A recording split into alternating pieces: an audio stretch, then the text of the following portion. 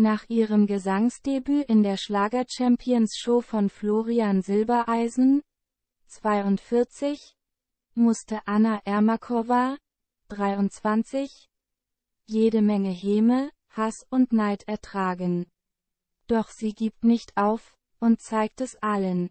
Singen sollte sie lassen, ich finde das wirklich schrecklich, so ein Kommentar, der in den sozialen Medien nach an, sie gibt sich nicht mal Mühe, so zu tun, als würde sie singen oder, Anna zerstört gerade eines meiner Lieblingslieder, lauteten andere.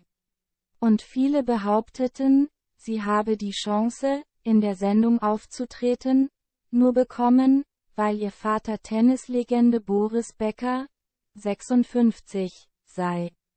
Für Anna waren diese Reaktionen sehr verletzend und entmutigend. Nur zwei Tage nach der Veröffentlichung des Musikvideos zu ihrem Song Behind Blue Eyes auf YouTube konnte sich die 23-Jährige über eine halbe Million Aufrufe freuen und stellte damit sogar Schlagerkönigin Helene Fischer, 39, in den Schatten.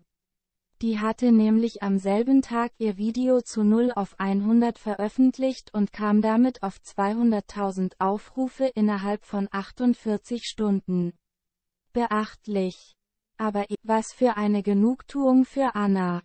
Denn Fakt ist, gerade, weil sie Boris, Tochter ist, muss sie sich noch mehr anstrengen als viele andere, damit man ihr Talent anerkennend wahrnimmt.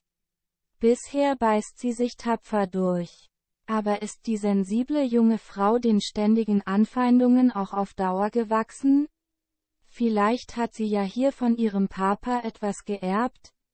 Den Biss, die Kampfkraft,